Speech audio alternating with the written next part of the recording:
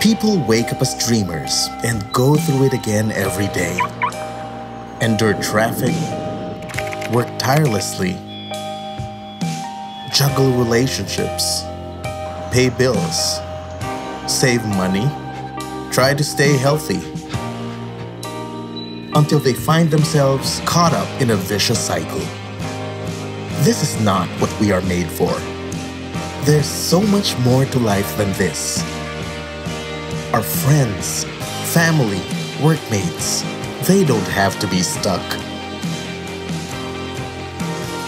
We are called to take His message to bring others into light. Together, we can learn to succeed at what truly matters.